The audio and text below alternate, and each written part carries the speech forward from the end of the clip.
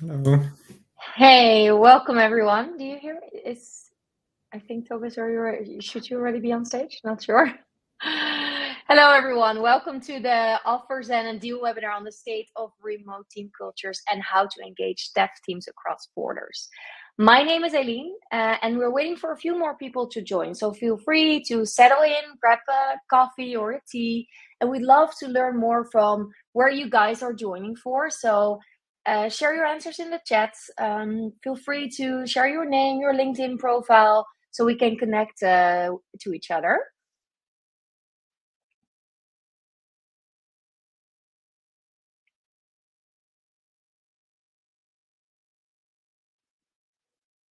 I'm not seeing anything in the chat right now, so don't be shy. Share something uh, about yourself, your name, where you're from.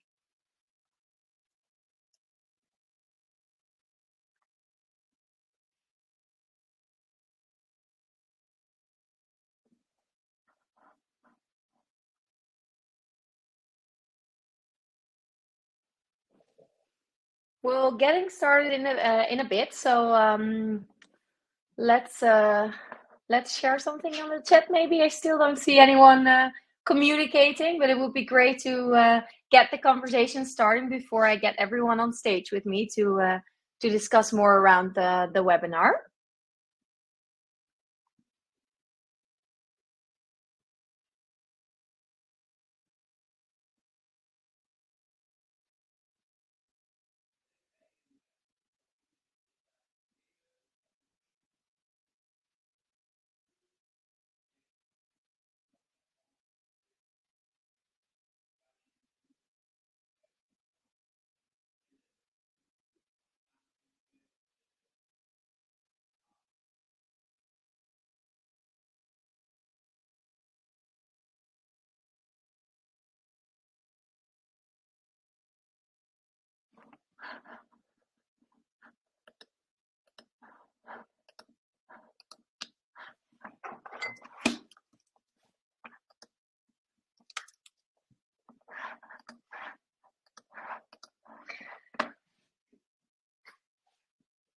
So I think people are are entering. I think we are we are ready to start. Mm, let's get the presentation slides up. I think they're still loading. Let me wait for the support from uh, from Alex, who's gonna help me from uh, hosting this webinar. I think there might be something wrong because I do see that people are seeing something. I do not see the presentation uh, deck yet, but let me just uh, start with um, sharing a little bit more. So, welcome everyone. Um, everyone who just joined. My name is Eileen, and I will be hosting this webinar today. I work at Deel, and I'm the sales manager there. I recently joined, so since the first of March, very uh, very new to the company. A little bit about Deel. So, Deel is your global people platform where we are that one stop shop for all HR and payroll needs.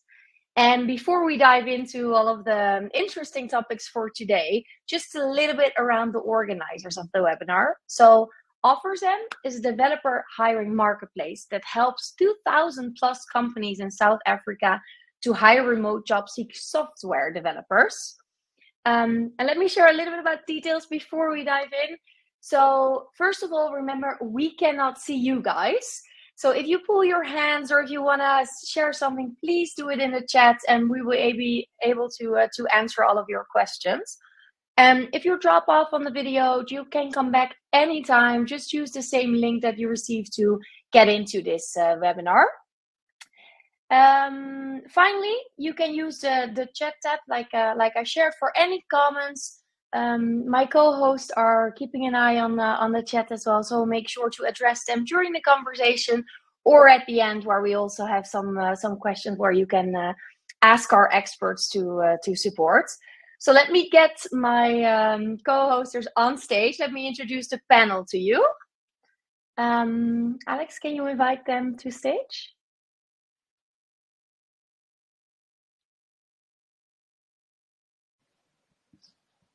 Hey, I see Nadia popping up. Hello. Tobias there as well. Perfect, Michael here. So let me jump off to, to the event. Um, three years after the pandemic, an overnight shift to remote focus on work setup in tech culture has changed drastically. What are leaders doing to drive team culture, or is team culture a thing of the past? So, in this session with our lovely uh, attendees and also, of course, my co host, we will um, discuss what is the status of a team culture in a remote world, what are tech le- leaders doing to drive team cultures in their distributed teams, and at the time, what is the importance of a team culture, or has that been shifted due to the fact uh, of uh, full remote teams? So let's kick off. Let me uh, get Nadia to introduce herself uh, to you guys. Great, thanks for having me, uh, Eileen and Toby, Michael. So happy to be in the same space as both of you. Uh, and welcome. I saw so many amazing countries like Berlin, um, Istanbul, Cape Town, South Africa, uh, Joburg. I just saw so many cities uh, loading in the chat, so it was nice to see that.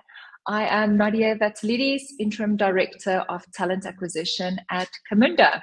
Uh, Camunda is a process orchestration company that literally connects technology, um, people, and tools. Uh, it's been an amazing journey so far, and I'm dialing in from sunny South Africa today. Great, thank you. Thank, uh, thanks, Nadia. Great to have you with us.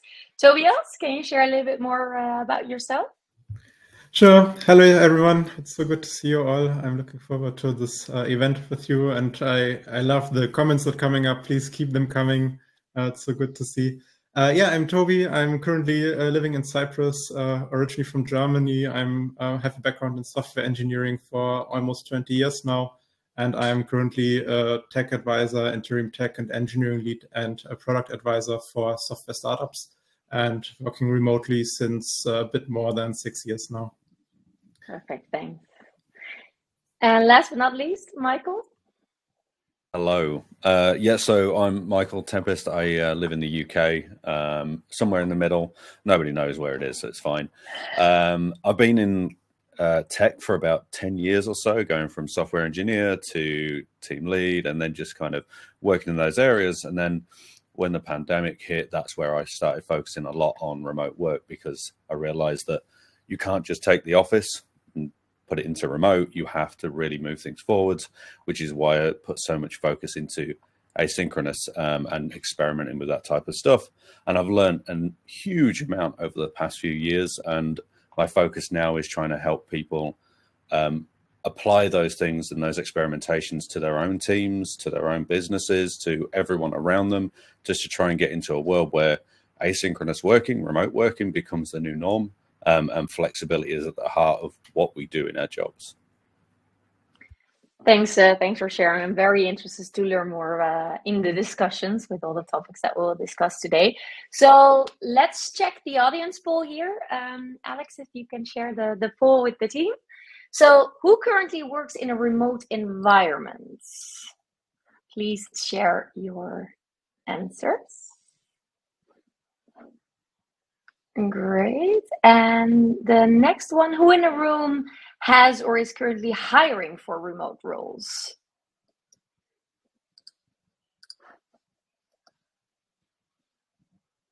Interesting. I see a lot of movement there. I see people are currently hiring, have hired. So uh, a lot of experts in the room here, uh, I would say today. So that's great, uh, great to see. So let's dive into uh, the first team of today. Um, what is the status of culture in remote world? world. So remote teams have always been a lot more common for dev teams than any other professions. But since the pandemic, remote and cross-border teams have set up has become much more common everywhere. So over the past year, some companies have started pushing for return to the office, um, two of the core reasons are productivity and team cultures that are things that you hear a lot. So let's learn a little bit more from uh, from our experts here today. Starting uh, with Nadia, I would say, as someone who has been responsible for people functions uh, of different remote teams, what would you say are the fundamentals of a remote team culture in in your experience? Yeah, great question. I'm so fortunate to have been part of the remote working and Michael, that comment about async work really resonates with me. So asynchronous work for probably the last 10 years, right? So pre pandemic. Um, and so during that time, learned a lot about culture, social connection, um, and building companies from 70 people to about a thousand people in under two years, right? So lots of scaling, uh, lots of touch points on the, the human factor of remote work. I think culture is such a weird element. If you look back in, I would say, uh, my t- my first 10 years in my career, it would have been very different from how I imagine culture now, right? Back then, I felt like cultures were really exclusive it was potentially not built for globally diverse environments and distributed teams. And so the world has come to realize that it only served for people that either lived 30 kilometers away from the office or had a specific personality type and all the things that would have created the wrong kind of environments for people to feel that they can belong and psychologically safe in etc and so the world of remote work i think comes with this um, responsibility of being very intentional about the culture you create. And if you don't have that intentionality, I think it's just going to happen organically, whether you want to control it or not, right? And so to me, I think there's a bunch of foundations, and the list can probably be a list of 10. But if I can focus on five or six today, I think to me, if the company has some sort of company values or operating principles or whatever you like calling it in your environment, that should probably be top of funnel when it when it comes to culture, right? It cannot be something that you just write down in some um, open source handbook or on some amazing employer branding page. It's got to be elements that you've operationalized throughout every single process how you engage each other, how you communicate, how you um, behave as a leadership team, right? Those values have to be completely operationalized and touched day to day. Also how you reward folks right? And, and the type of feedback that you're giving. I love dragging and, and building values into um, quarterly performance reviews uh, feedback conversations one-on-one conversations. I love imprinting it even into surveys right? No matter what survey you're running from a candidate experience right through to an internal employee employee engagement survey. Asking questions about those values are certainly going to help. But there are other elements. Back at my days at GitLab, I certainly believed initially that culture was values. There was no doubt in my mind. But now, a few years later, and working for multitude of amazing tech startups and having had the privilege to scale a bunch of these companies, I feel like it's there's way more to that, right? I think leadership behavior is still top for me. How your leadership team shows up, how they um, align to those values, how they communicate, how they think about inclusive language, how they work or don't work on weekends, right? Or long hours. All of that starts setting your company up into a specific culture. Um, but there are other things as well. I love, you know, thinking about skills, competencies.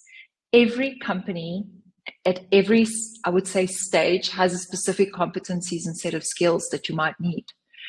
Um, and then lastly, I think your operating model. So whether you're remote or not, whether you're hybrid or not, the kind of flexibility that you stifle or that you create is gonna is literally going to drive the culture.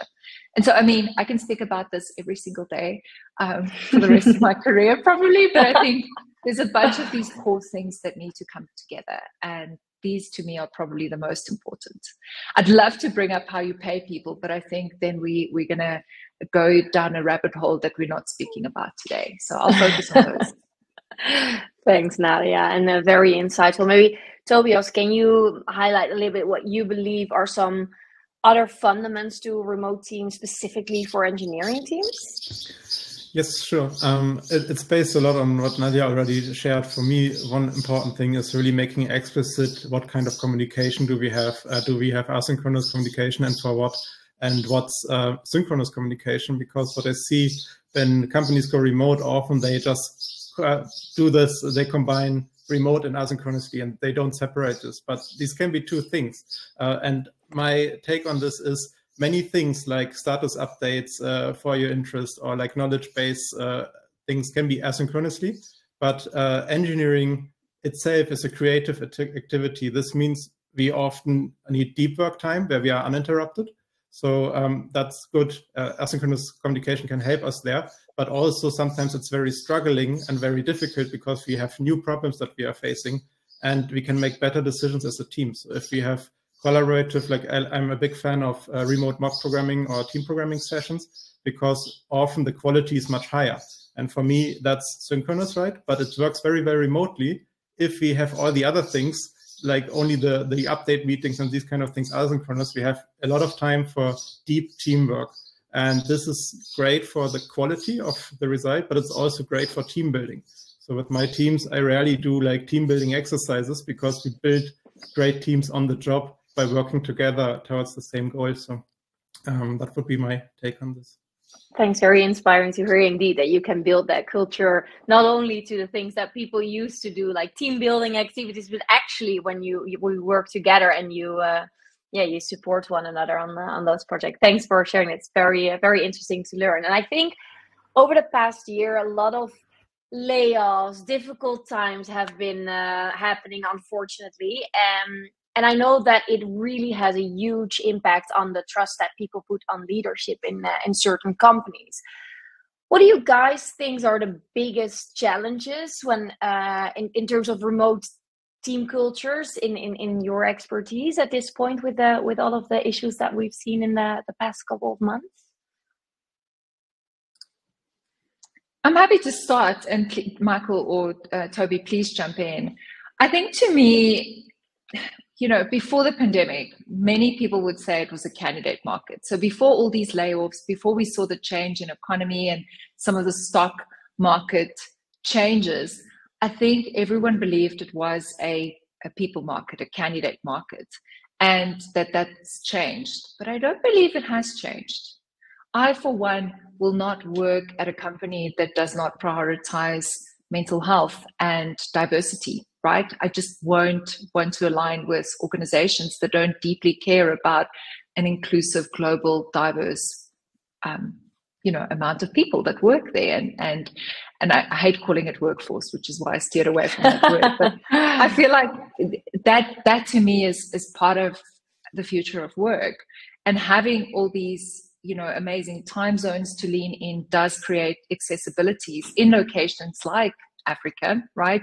So across continents that didn't necessarily have the opportunities to have access to Silicon Valley startups or European based amazing tech startups.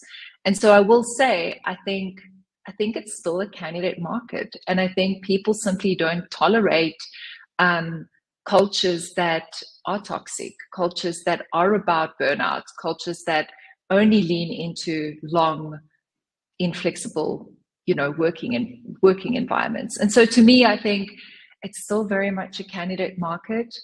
Um, often when i look at candidates declining an offer regardless of the company i work for i often say to myself are they declining the manager? Are they declining my ta partner or me? Like why are they declining us? Is it purely money? I'm not convinced. Um, and as you as you notice some of these big audit firms let's use um, kpmg for example I'm convinced bigger audit firms like the big five, so KPMG, but also Deloitte, etc., um, now have to become more flexible for their generation that simply doesn't tolerate sitting in an office nine to five and doesn't find that productive or meaningful, right? And does want the opportunity to deliver exceptional work, but not necessarily even from home, from wherever the hell they want to be, right? So I do think it's it is really about people have changed the workplace and whether the pandemic um, sped that up or not this is we can't go back to to how it used to be. No one wants to tolerate that level of inflexibility and and sort of stifling the opportunity to have a great life outside of work. So i think that's the biggest change. And i do see a lot of organizations still hyperfixate on um, on potentially returning to the office but I also see a lot of enterprise corporate companies that are super flexible, including South African banks, which I've never expected, not not in 2024. And it's wonderful to see. Thanks, uh, thanks. But maybe Michael, do you have uh, a view on on what Nadia just shared?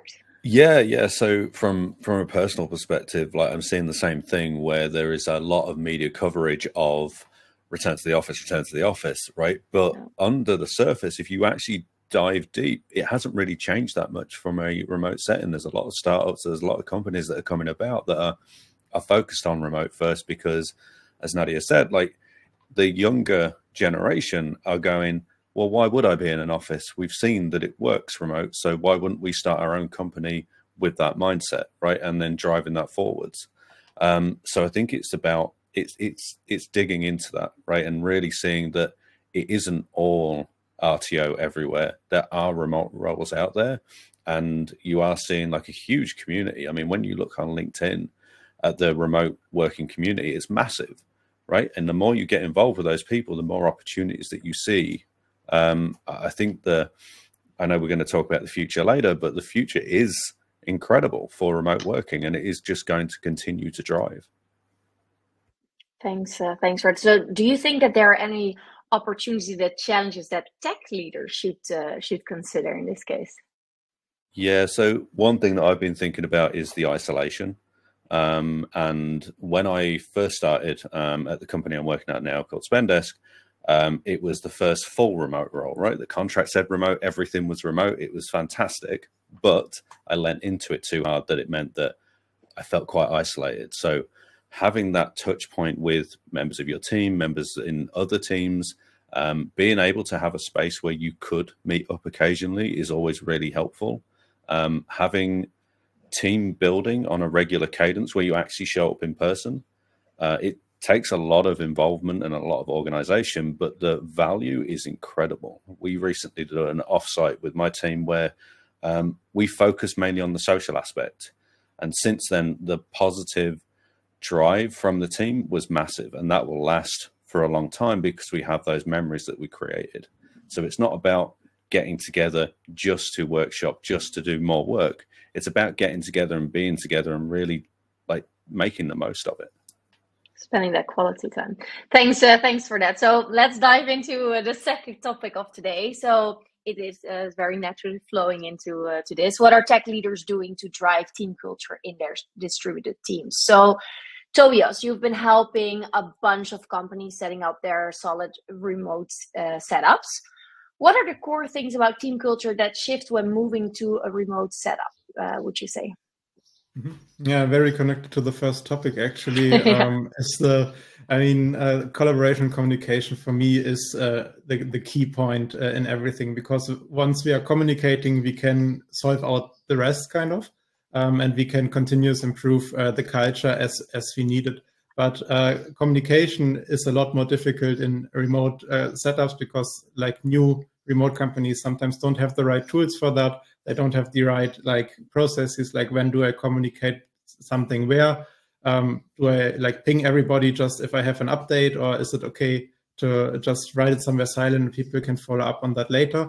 And um, also the having time for social gathering, uh, things that happen uh, at the coffee machine in the office that don't happen accidentally anymore, that need to be more intentional. So, for example, having space to have one-on-ones, not only between managers and um, the employees, but having uh, one-on-ones also with peers and just talking about like casual uh, stuff like uh, um, free time, hobbies, uh, health, family, whatever is uh, interesting um, or having collaboration sessions where when we have like a wait time because we wait for a build in an engineering team or something, don't spend that checking Slack, but spend that together and uh, spend that uh, talking about how you currently feel, what's going on, and so on. For leaders, the other thing is um, that we finally have to let go of this illusion of control that many might still have in the office. I see them working, so they are properly working.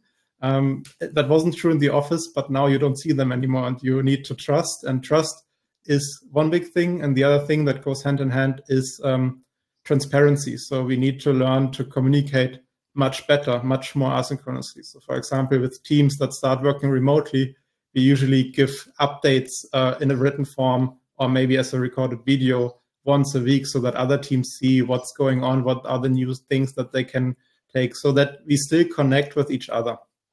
And uh, the last thing I would like to mention is that um, autonomy is much more important now because people will have different working hours. People will maybe work in different time zones or like have different schedules in general. And therefore, they need to be able to make good decisions on their own. And therefore, we need to pay much more attention on have do we have a clear strategy? Is the vision well communicated? Where do we want to go as a company or as a team? And how do we want to achieve this? Right? What's what are our values and uh, what are we doing and what are we not doing and why? So the why becomes much more important because so that we create the alignment that allows the autonomy to happen afterwards. Thanks. Yeah, I think the why indeed, but also maybe a safe space and trust from new leadership because you don't see the people actually, and you really need to trust and and yeah, create that safe space. At least that's what I see a lot here at the at Deel where I work, uh, of course. Uh, thanks, Tobias. So, uh, Michael, one of the things that become harder in remote teams is notice when things are not right. What we just discussed, like having that trust and that safe space what is something that you guys are doing at uh, Spendesk to keep that to to make sure that you understand what's happening and that you um, yeah you see it before it escalates so um, echoing what Toby was saying it's the one-to-ones right they are the most important um, especially as a tech leader they're the most important way of interacting with people so one-to-ones traditionally years ago used to be very um, project update driven uh, I personally hate that. Like for me, one to ones are a chance for you to talk to them and them to talk to you about whatever it is that is important to them. Right. The whole idea is that they drive the one to one. So the the rules that I follow are you you never cancel them. You always keep them unless there's something critical from either side, but both of you have to agree to move it.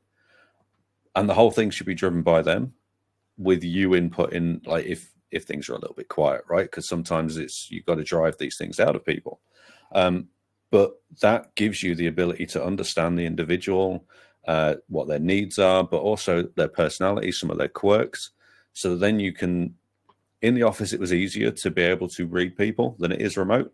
But if you do one to ones effectively, you can have exactly the same tools, right? You're in a meeting and you're sat there and you're like, mm, something's not right here, right? And you can yeah. then talk to them about it into one to one or in Slack or, but you have to build that relationship. You have to build that trust first. So, whenever you start in a new team, it's always that's the most important part, right? Is one to ones build the trust because once you get that, most of the time you don't have to notice anything's wrong. They will tell you, right? Because yeah. they believe in your leadership, they believe in your trust. Um, and the other part is when you look at it from a business perspective, it again goes back to what Toby said, which is you have to have an aligned vision, right? You have to have a real clear understanding of the why. You can't have people say, we need to do this thing, but don't ask why, right? Just get on with it, right? That doesn't work in a remote world because mm. you take them along really on a journey with you, you would say. Exactly, yeah, because you have to give people the autonomy when they're working remotely, right? You have to give them the flexibility to know what they're delivering, right? So I know that probably a few people on this call have always had those Jira task tickets that have been just a couple of lines, which are like build X, right? Now the entire world has moved to a user story based. You have to give the detail, otherwise people don't know what they're building or or why. Like what? Why is it important? Um, yeah. So yeah, yeah. Thanks, thanks, uh, thanks, Michael. And Nadia, if things are not right, and and people who are so maybe uh, listening into this webinar would ask help of of people teams, what would you suggest, like tips, or how can we uh, get people teams involved to uh, to support? Yeah, great question. I will say a people team probably can't solve for a bad manager, right? So just setting expectations, the responsibility of managing a global team, no matter what you do at the company, whether you're a dev or engineering manager, or whether you're just a, a manager of marketing or or um, account developers or whatever that looks like, right? A people team can't fix a manager's responsibilities of what they need to do in that team. And I love what Michael said around one-on-ones. I have very similar um, I have a very similar approach to one on ones, and I tend to hyperfixate on connection and checking in with each other versus updates. Like I never use a one on one for a stand up or just to go through a bunch of updates that we can discuss asynchronously. I think the people function has changed. I don't, I, I think the biggest difference for me is we're part of the company, right? We are actually one team having very similar goals, having very similar missions. And it's about enabling a manager to do great things. And that means making space for very good documentation, right? Having um, having a really good template and learning material to help that manager that's maybe a first time manager, especially in tech startups. Like I can vouch for that. We at Camunda are very very fortunate to have amazing and very experienced managers. But I have seen you know early stage managers entering the world of tech very quickly in their careers. And so providing that guidance, providing that space to collaborate, to have a retrospective on things that you know hasn't worked. So even learning from engineering very often, I've brought a lot of that and product, right, into the world of people. If you're building products for people, it's about enablement. You've got to create the space in your people function for folks to have time and space to connect, right? And to have the right tools, the right uh, space for documentation, the right um, timing of those things.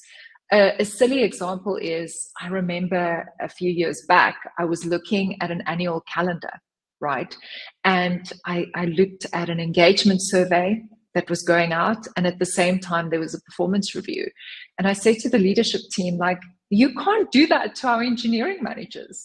How the heck are they supposed to like, you know, enable and encourage the whole team to complete an engagement survey of 55 questions and combined with that run a performance review of each let's say each engineering manager having 10 to 15 people reporting into them including self reviews right so i think it a people team needs to start really looking at the picture holistically. Sometimes it's about dialing out and looking very high level in, and sometimes it's just about pro- providing the space to ask any question, to create transparency, to um, inviting other opinions in. Some of my absolute best work was actually done in collaboration with other people that already worked at the company. It was never like I came up with this like amazing idea that I should have won some sort of prize with. with. It was usually because I invited engineering managers or product folks or ICs into the conversation to tell me why something isn't working for them. And then based on that feedback, making those iterations on our processes.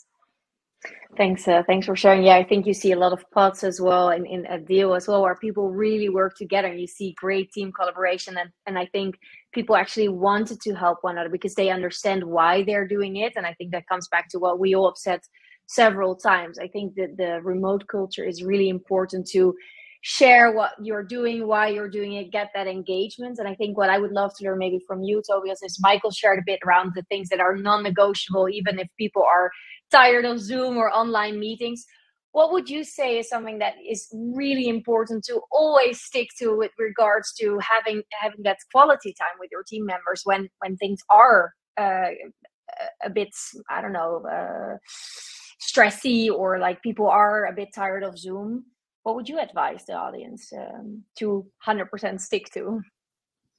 Mm, uh, so definitely also the like the one-on-ones or the the team weeklies uh, if you if you have something like like the social connection part that's that's the important thing. And i would scratch almost everything else like um, for example do you really need dailies? Like as an update i did this yesterday i will do this today and so on. I don't think so. We we ran without two years without dailies and it was perfect because we collaborated a lot we had a lot of uh, talking throughout the, the week. Other teams, they use the dailies more for social connection, which is nice because you start the day together if your timing allows that.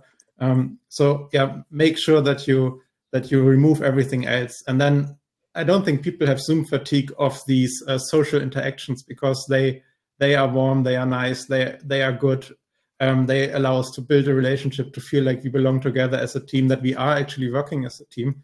Um, people have Zoom fatigue from sitting in endless meetings where they need to listen for one or two hours without being able to contribute and these kind of things. And for that, I would say free record them or uh, write a write a text, share that asynchronously, and then maybe if you want to have feedback, you can still schedule an office hour where people can come and uh, and ask you in person questions if if they want to. But for most people, it might be fine just to to watch your recording at uh, two times the speed and get done with it, right? Um, yeah, I think that's um that that that part is super key, right? Is should we really be doing this asynchronous? Like that would save so many people's Zoom fatigue, right? Which is real. Um, we've recently had a few sessions where we've had to focus and and build together, right? Whole team like mob programming on stuff, and those sessions are fantastic because it's not all building. You also have the social interaction where somebody will say something completely random,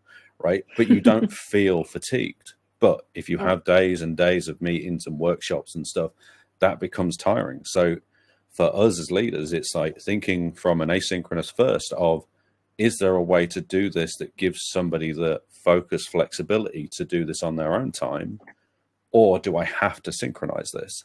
And that's the best way to really move away from the Zoom fatigue is using Zoom when makes sense and the energy levels are going to be high versus those where people are just sat there watching you run through slides. I'm quite harsh, so I love this and I'm so on board with you, but I cancel all meetings that doesn't have an agenda 24 hours ahead. And I learned this. It took time, right? But I just I'm just like, hey folks, there's no agenda items canceling. And I, I do set, I obviously set that expectation as well.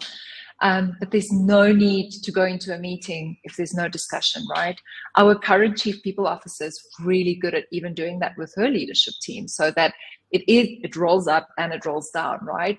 Um, so we all experience that in the same way.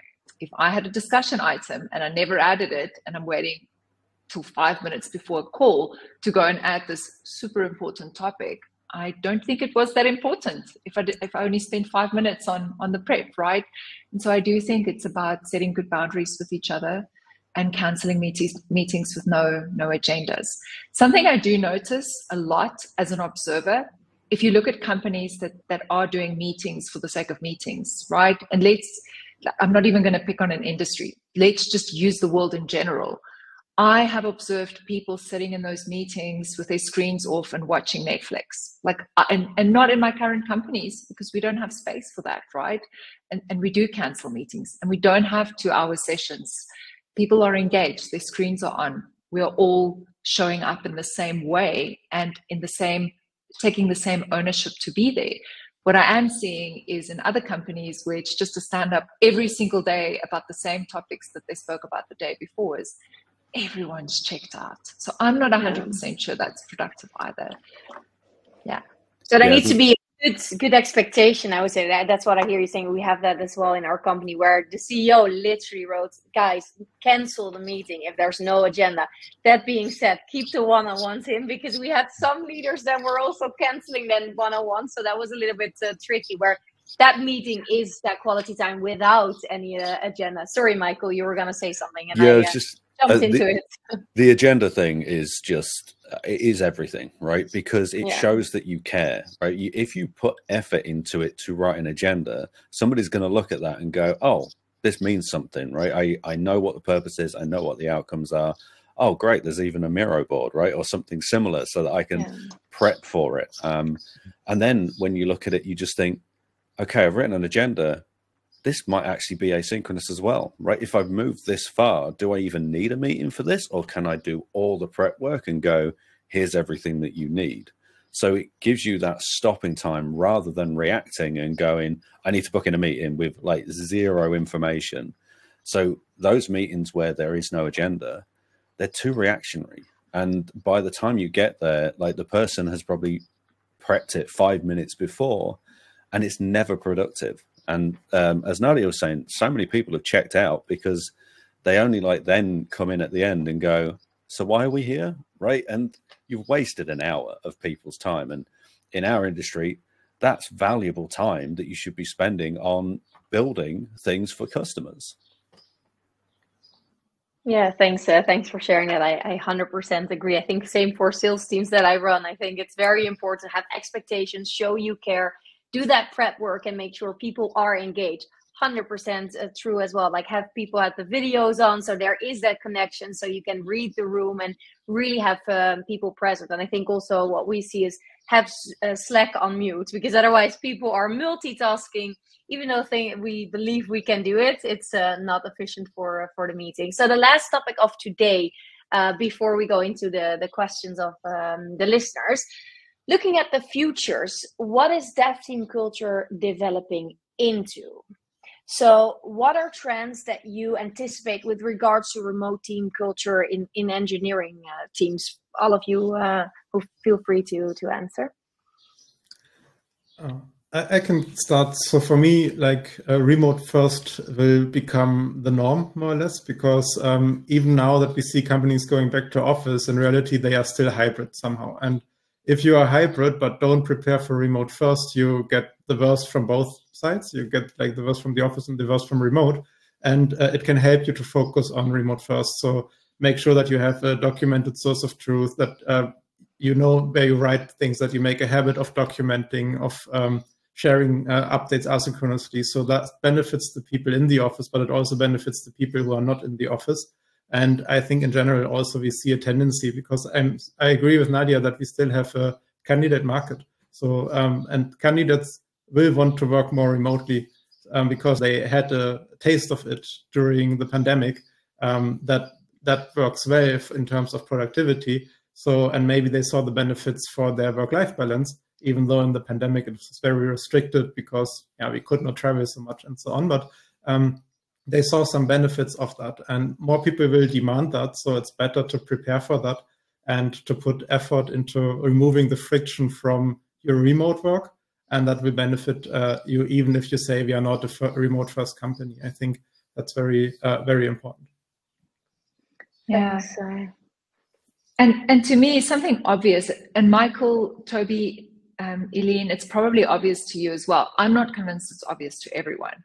But if you think about engineers and the performance review culture, I still see companies comparing, you know, one person to the other. I still see that like nearly personality matching, or can we just clone this amazing engineer and, and having more of that? And I think engineers will demand for that to stop.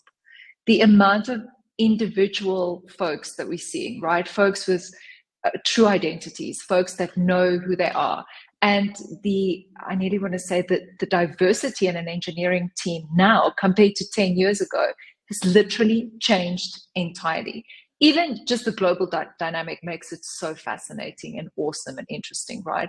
But there's many reasons why you need to start comparing folks to where were they six months ago to how are they performing now six months later and it's such a such a, a small thing but that does impact culture when you keep comparing people to other people you are building a culture that they need to live up to a standard that doesn't actually exist in their world right and so i do think that more inclusion will be demanded by engineers. I see that every single day in hiring, right? I, I literally see folks asking, what is your policy on DEI? What are you doing to create an inclusive environment where everyone feel that they can belong in your engineering team? And so those are the things that I, I think if companies are behind on, I would get ahead on now. So from from my side, the the the bit I'm a little bit worried around is data, right? And the way that we measure people's productivity, performance, all of that type of stuff, that we go too far right? We go to a point where it really dictates somebody to a point that's not real, right? That you've got to put the people first and the data second, right? The data is there to call out specific points, but as we move to a more remote hybrid world, the danger is that we rely so much on the data we forget about the people, right? And we we end up making poor decisions um, because we're not really connecting in the right way. Um, saying that, the the best way to avoid that is why what we're doing now, right? Is still focusing on the people. As Nadia said, like with the diversity and stuff, you you really focus on what can this person do, what what is their future like, what can they bring to the company. It doesn't matter where they are, it doesn't matter where they're working. You give them the opportunity to work in the best way for them, right? So one to ones, they drive that giving them flexibility, asynchronous working, like all of these tools that we have today, you can use them whether you're in an office, whether you're hybrid, whether you're remote, it doesn't matter. They're all best practices. What we've really seen and what we'll see more of is remote work has shifted the way we work. And it doesn't matter where you work, it has completely fundamentally changed the way we work. You've moved away from a time where you would join a company. Well, there's still companies out there that probably do this, but where you join a company and there's no documentation, right? You have to ask the expert for information on this specific thing. More and more companies now are adopting that documentation first policy through the remote working because it was a necessity, but it helps people in the office as well because it means that X person can go off sick and the entire company won't come crumbling down, right? So um, the future is about making sure that we have all of these learnings, all of this stuff, and applying it to the way that we work, no matter where we are. Thanks, uh, thanks for sharing that. So maybe two other tips from uh, from you guys that um, you can recommend to the people listening in. Like, how can people really prepare for the future of uh, of remote work? I heard a lot of uh, interesting things already, but if you could give like two real big important things to do.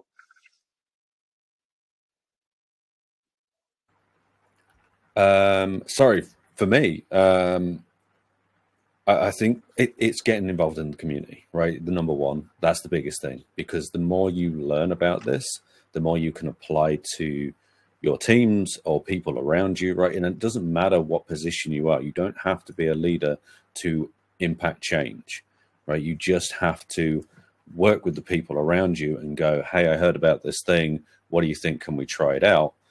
Um, in agile working, I think the only real important meeting that we have is retrospectives, right? The rest are fine, whatever. Like sometimes they help, sometimes they don't. But retros are really key because you get that consistent feedback from people. So get engaged with the community, learn something, share it, see if it works. If it doesn't work, that's fine, right? There will always be something else to do. And then the, on the other side, the, the other area to really focus on is understanding um, your own management of your own time, right? Really using the flexibility of remote working and helping other people use that.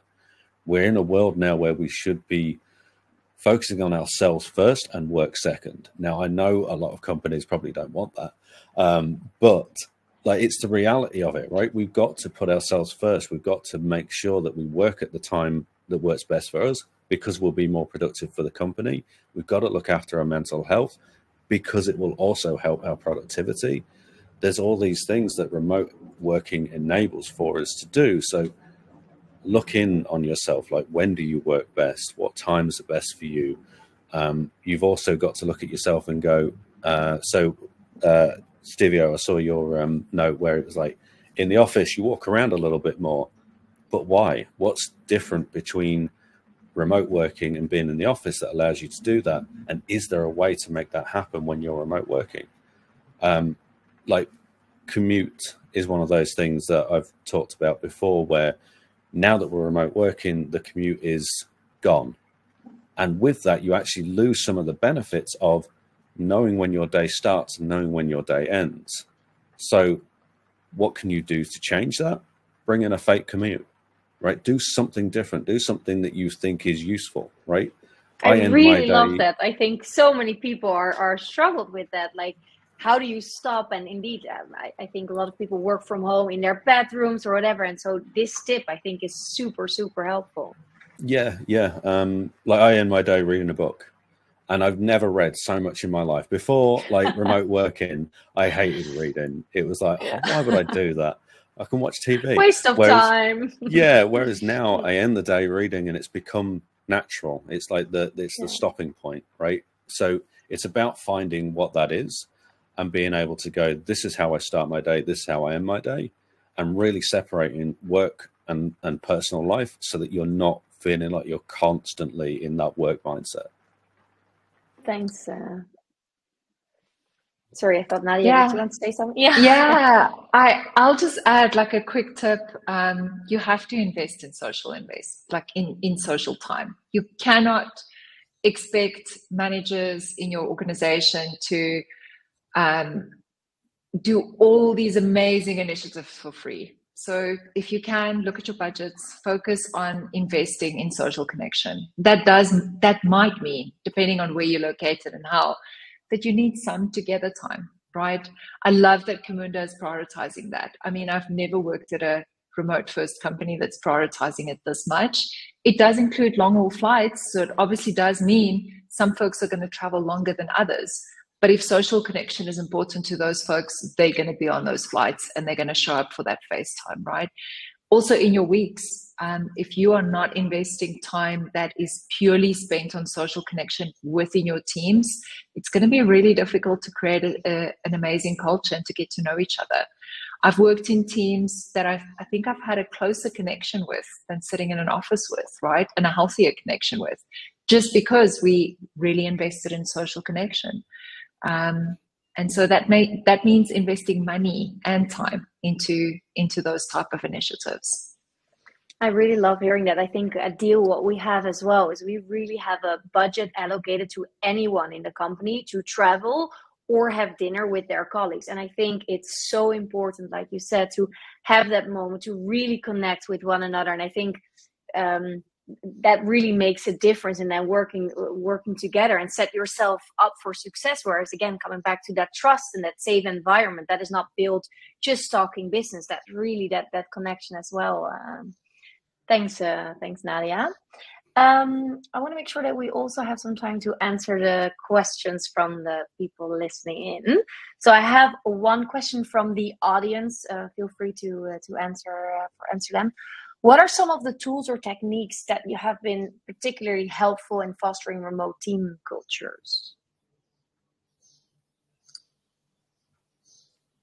I think trust is number one. If you've hired someone and you still don't trust them on the day that they start, your hiring process sucks. So I still think it's about 100% trust from day one. There's no such thing as building trust after you've hired someone, not in a distributed remote company. You've got to make sure that you are inviting someone in right and i have worked for companies where it wasn't the case and you pick on it you pick it up really quickly and that creates a different kind of culture where if there is no trust how are you supposed to engage in an asynchronous way or working non-linear hours right? So i, I still think trust is number one. If you're not trusting the employees you've hired you've made a mistake in your hiring. So it really starts actually at the beginning where you do the interviews you take the time for it get to know someone and spend a little bit more time than uh, maybe you did before uh, having a remote team when yeah. uh, when you said tools my brain just went to like actual tools right um, so i was thinking like sure.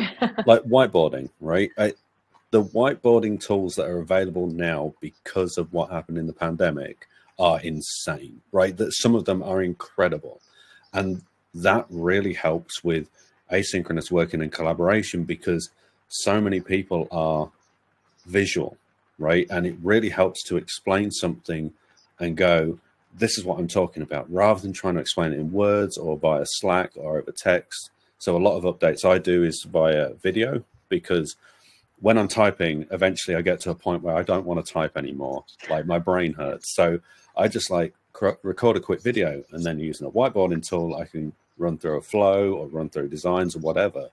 And what I find is that teams respond really well to that, right? Individuals respond really well because it's more personal um, for them. Like usually towards the end of the day, they don't want to read anymore.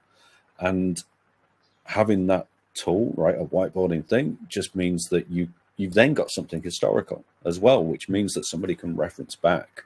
Um, so yeah, for me, it's really invest in a really good whiteboarding tool that the entire company uses. I would like to add to that, and uh, I also thought about tools in the technical sense. Um, like the whiteboard tools also make meetings much more interactive, right? When you when you look together on a whiteboard, it's like you are in, in a real office. Actually, we had a fun story um, with one team I was working together. We came together in an office as a tech leadership community and wanted to work on a whiteboard together. And we went back to Miro because the physical whiteboard was not working well for us, then who has the, best uh, the best handwriting and these kind of things. So um, I, I, second that. And also other tools are important, like a good video conferencing tool. Many tools out there are actually not that great. So for example, I, I enjoy Zoom a lot because we can have breakout rooms, we can have um, like the video quality is very good, the noise cancellation is very good. So we, we can interact much better. And then of course, the last thing is have a, tool, whatever that is, that is your single source of truth where people document things and where you know this is the, the route where I can go to and from there I find everything else because otherwise things get lost. I don't know, is it is it maybe Notion? Is this in Miro? Is this in Slack? Is this in, in another third tool? And uh, if I know, okay, our handbook is a Notion, for example, or something else, it doesn't really matter. Then I can go there and I find the pointers to whatever resource I'm looking for and uh, that makes it much easier. And it's important to agree on that, uh, actually on a company level, what this this entry point should be. Thanks, very very useful indeed. Um, I have some other another question um, from Mariana. How do you deal with people that do not want to turn on the camera? I think it's about setting those expectations up front. And so, as you sent the invite to this meeting, right, if you need to change that in your team, it's about over communicating that this is happening, doing it nice and far in the future so folks can plan, double clicking on is that time still the right time to host the meeting for everyone? It's no fun to have a school commute and trying to join a team meeting, right? So, I think it's about just figuring out what are the boundaries here why did we why are we having that meeting at that time and and then just saying like we we have shared ownership. We need everyone to engage in the call. And if you're not engaging why are you in the call right? I remember yo my previous ceo at remote saying to saying to me listen if folks aren't engaging in a conversation in a meeting why are they there? Because if they're purely listening can they read it asynchronously? Can they watch it later? Like can they do something else? And so to me it's about we all have equal ownership and an equitable experience, and that also means we all should show up in the same way. I personally don't like talking to a bunch of offline cameras because I have no idea like what folks are doing and What's I happening? don't feel safe, right? If we're only two people, imagine the four of us today and one of us had our cam- camera on. It'd be super awkward. I think I would just like end up switching off my camera. So I always say if it's cameras on, everyone's cameras are on, if its camera is off, and all of us are off camera, why are we meeting? Can we? Yeah. Do we need to do this in a different way, right? And so I think it's just about setting those expectations, but you might need to go through a bit of a change strategy. I hate using enterprise lingo, but you probably need to go through a bit of a change strategy before you just make that change and over communicate why you're doing it. But I genuinely prefer video on if I'm in a meeting and we all need to engage. Also, if it's a very large meeting, why are you having a very large meeting, right? If it's company wide, like an all hands, why are you doing that? There must be a mission for that meeting. And if it's working for you and that's what you always done, just make sure people are actually engaging in the conversation and showing up for that meeting. Thanks. And I think it all comes back again to explaining why it's important, the reason behind it, getting people along. Maybe also a little bit of vulnerability where you, as a leader, explain why it's so important and that you feel unsafe when you present something and you share your vision. You want to make sure to to get people along with you. Um, thanks, uh, thanks, Nadia. Uh, last question. Um, oh, sorry, Tobias, you wanted to say something? Yeah, I just wanted to add to that that also uh, a huge part of our communication happens not uh, like via what we are saying, but actually how we behave, how our mimic gestures, and so on. Even when we are not talking, I can see uh, Nadia is uh, nodding, so she probably agrees to that. But if she would have uh, a camera off, I would not know. Is is she understanding what I'm telling? Is she against that? Is she for that? Do I need to clarify my point a bit more? All of that is so important. And I, I read somewhere that it's around 60% of communication that happens uh, in the visual channel. And also, I wouldn't go in, in an office with a like mask on and like sunglasses so that you cannot see my faces. So why should I do this on a camera? I love that how you explain it. Indeed, that's hundred percent true. Uh, thanks, uh, Tobias.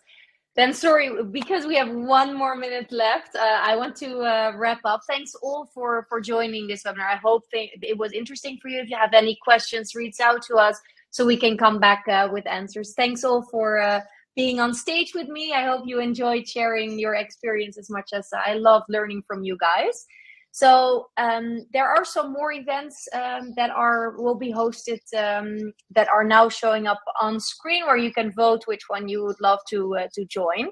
Um, thanks again, and uh, I hope you have a, a lovely day.